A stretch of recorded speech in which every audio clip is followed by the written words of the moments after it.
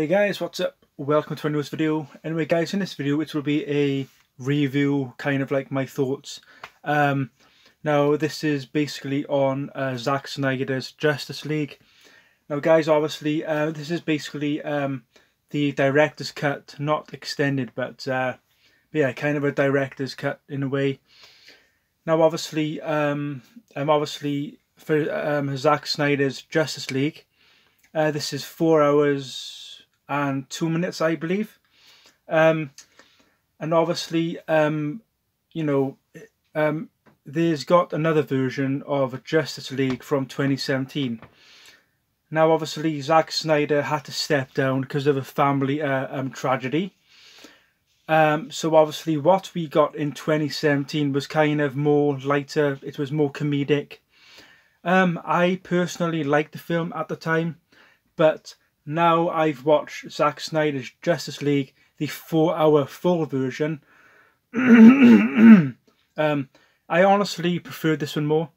Now, obviously, I love Zack Snyder's work. You know, like Man of Steel, BVS, the Ultimate Edition, uh, the three-hour version, and obviously, I, you know, I because this version of Zack Snyder's Justice League was supposed to be the version we was supposed to have in 2017. But because of the family tragedy in his personal life, um, he had to step down, and then we got a different, uh, not different, different, but you know, some of the scenes and this and that, you know, was changed around and reshoots.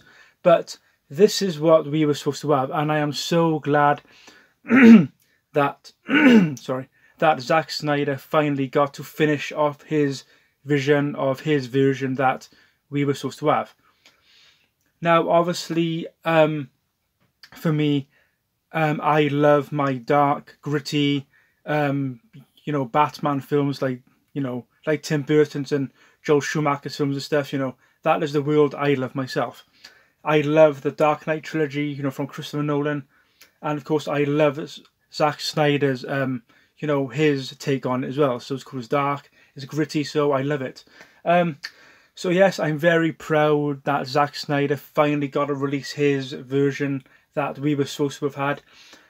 Um, and, and obviously you've got that extra um, footage that is brand new.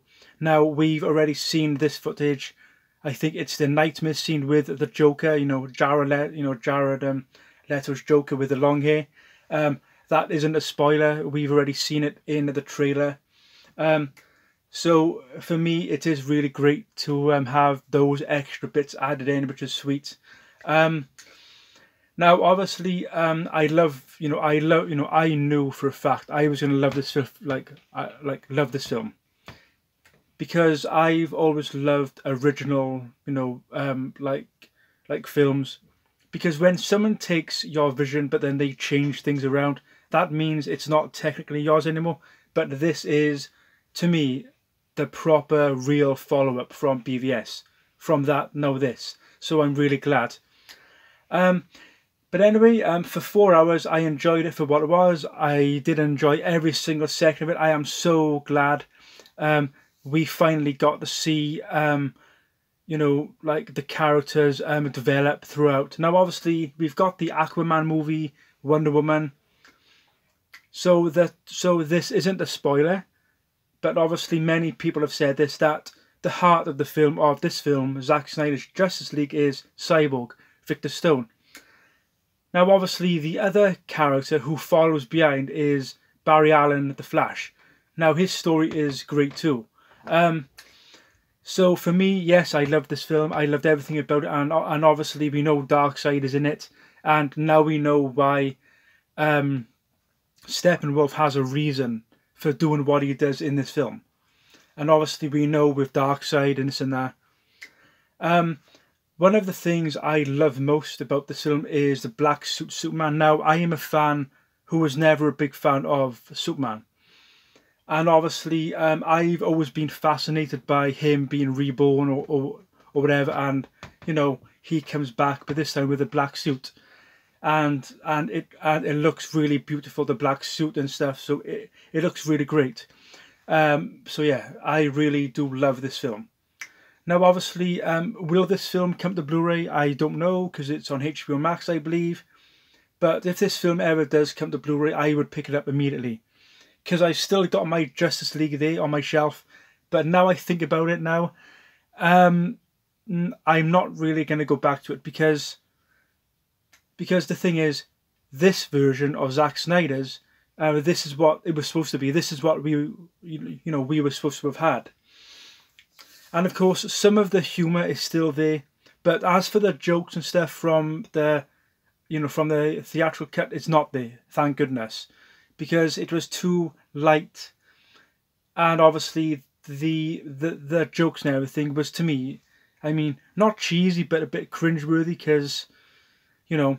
But yes, in this version of Justice League, um, obviously the Flash does do a lot more. I'm not gonna spoil for anybody, but yeah, he does do a bit more um, in this film, and and there's got a bit towards the end, which I'm not to reveal because of spoilers.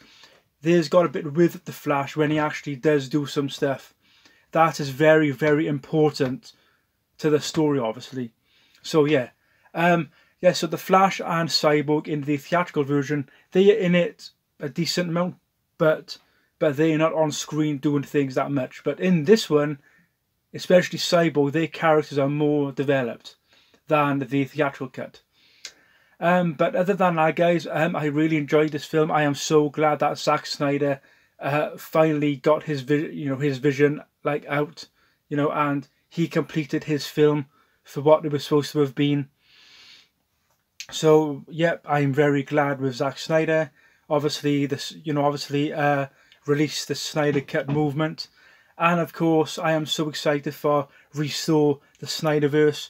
So, with any luck, us fans, if we push hard enough, Warner Brothers will actually, you know, keep the uh, you know keep the Snyderverse with the Justice League two and three.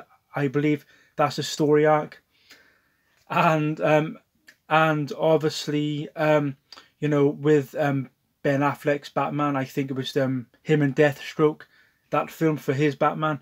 Um, and of course, we've got The Flash coming with Ezra Miller, so, you know. But anyway, guys, um, as I, you know, I mean, I didn't reveal any spoilers or anything, but just saying that, yes, this is a great film.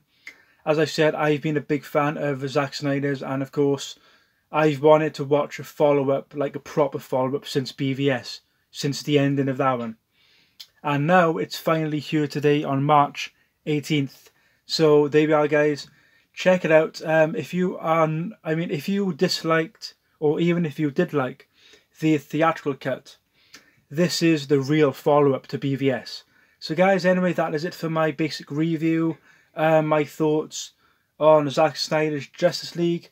Hope you enjoyed it, guys. Don't forget to like, subscribe, and comment, and see you guys in my next video. Okay, guys, thanks for watching. Take care. Bye for now. Bye.